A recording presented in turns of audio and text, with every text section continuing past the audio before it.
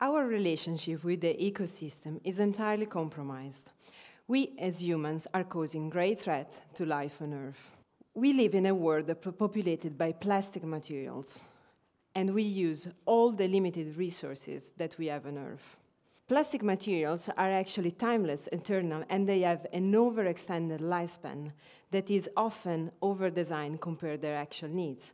If you think about it, our artificial environments are populated by plastic materials. All elements around us, a plastic, a chair, even the coats and the clothing we wear today, they are all based on plastic materials. Plastic materials have these eternal qualities. They are super resistant to damages, scratches, even dirt.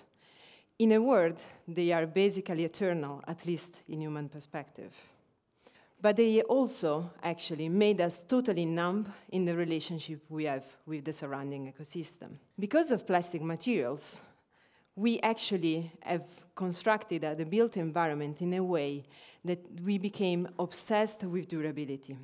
But the materials we use in our everyday environments, they actually end up in landfills much before their actual end of life. To give you a particular figure, 50% of the landfill waste is generated by the building industry only. To put it simply, it is a huge amount of trash that is piling up in our own backyard. So, what if we could imagine instead a vision of home, office, and spaces that instead of super durable materials could be actually populated by materials, by natural materials, that are actually aging, mutating over time. If you think about it, when we are in nature, we experience a deep sense of comfort, of connection, that is coming from the fact that all elements around us, the wind, a flower, a decaying tree, is actually mutating over time. Things around us, they constantly move and shake and constantly seek a balance and harmony. But these balances and harmony are not actually uh, they are not static, they are actually dynamic. These elements, they all seek to recreate this balance and harmony. And that is why we love being in nature. What if then we could imagine a vision of home, office, and spaces that reflects this naturalness also and get away from plastic and synthetic words? What if we could recuperate also in our artificial environments these qualities of materials, of natural materials, of impermanence? What if we could have a relationship with our surrounding artificial environments that are actually populated of materials that age and mutate over time and constantly transform, and embrace a different perspective and a different approach to sustainability? What if this new approach to sustainability could embrace actually qualities of impermanence and recreate the same level of comfort and connection that we experience in nature? To do so, we need to radically disrupt the way we produce things and materials for our everyday life. One possibility today is given by biofabrication. Biofabrication is actually a brand new set of technologies that involves the collaboration with living organisms, microbes such as algae, bacteria, and fungi. Now, don't be scared. These, these microbes are not going to take over your brain as in a horror movie. Actually, microbes, and we live with microbes much more closely intertwined lives than we like to think. We carry billions of bacteria on our, world, on our body every day. Nowadays, actually, microbes such as uh, yeast and bacteria can be used to produce new materials and products for our everyday life. Microbes like yeast and bacteria can be used to spin fibers and yarns to produce new clothing. Bacteria can be even used to produce self-repairing concrete that repairs itself under the rain and fills the gap of the crack created. Fungi, and particularly mycelium, are being explored as future food alternatives to solve the challenge of hunger and landfill space use, or as pharmaceutical additives to actually tackle mental health issues. Fungi are probably one of the most fascinating organisms involved in this revolution. And actually, we should talk about mycelium. Mycelium is the complex network of thread-like cells that in nature can be found in soil. In nature, mycelium solves many functions, actually. It is nature's natural fire retardant. It can help to stop or delay fire from the wild spread. It is also the so-called Internet of the Forest.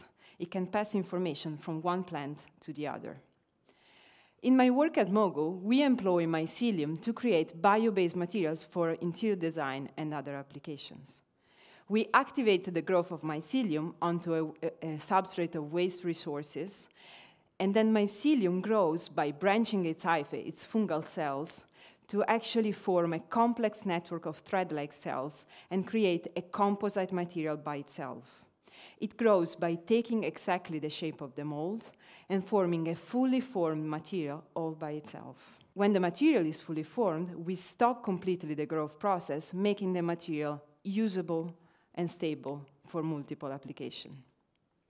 From this technology, we developed a set of products for interior design particularly, for our everyday environments, to tackle the challenge of the building industry, to transition towards a more sustainable economy. These materials, they offer excellent functional and aesthetic qualities, such as thermal insulation, acoustic properties, but not only, they are 100% bio-based and biodegradable.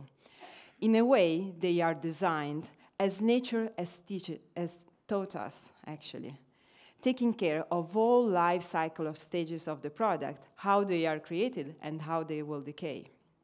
One of the most fascinating aspects of this technology is that we are only scratching the surface of its possibilities. Today at Mogu, we are validating also a new material with similar, unique qualities such as leather to replace actually this intensively farmed material. This material offers excellent functional qualities and haptic qualities. With these materials, we actually last year even launched the world's first commercial full-length coat in collaboration with Balenciaga. What fascinates me the most, however, of this technology is still the fact that it offers actually a totally new aesthetic for interior design and beyond. These materials, they look like natural materials. They are strongly characterized by naturalness, but they also challenge our understanding of them. They are a totally new set of materials that can offer a radical shift in interior design. They carry qualities of impermanence and imperfection and designed imperfection that are the same qualities we find in natural materials. And these qualities are actually the qualities of impermanence, of aging, of constant transformation, and can help us to recuperate the same level of deep con connection and comfort that we find in nature. Although they are stable and validated materials for multiple applications, they carry these qualities of constant transformation that we can find also in natural materials. And they can be designed with a suitable lifespan compared to the actual need, to the actual application.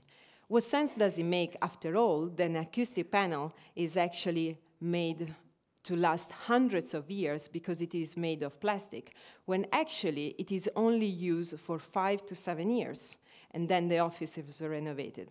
Isn't it more efficient then to think about actually materials that can, might be damaged and, and be broken, but actually reprocess and remanufacture from the same resources in only three weeks? That's how long mycelium takes to grow. These materials, they offer us the possibility to actually create environments that carry the same qualities of impermanence and constant transformation that we find in nature.